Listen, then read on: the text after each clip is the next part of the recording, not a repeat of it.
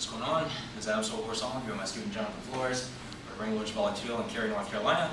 Just want to share with you guys a uh, Machado rolling guard pass you can use uh, for gi Brazilian Jiu-Jitsu. You can try to do it no gi and for MMA as well, though I don't recommend it because the gi kind of provides some friction and some resistance, which is very important to make the technique work. Okay, So Jonathan is down and I'm working to pass his guard. Okay, I'm here using my standing guard pass. Once again, like always, you can control here, or you can control with the pistol grip here.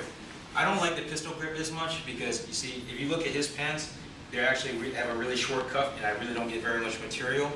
This way I feel like I get a little bit more material. If the guy has big floppy pants, pistol grip works good. Otherwise, I like to go here, okay?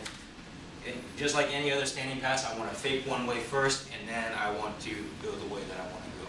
Usually, I'll throw his legs to the side and start walking around, but if the guy has strong legs, he's going to keep trying to recover guard this way.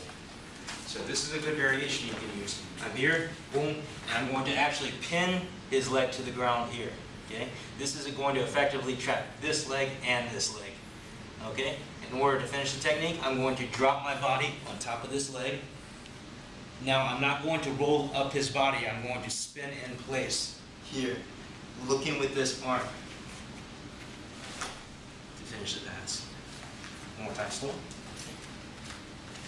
Here, boom, I in. drop my weight, spin in place, look in, and I finish the pass. Time pass.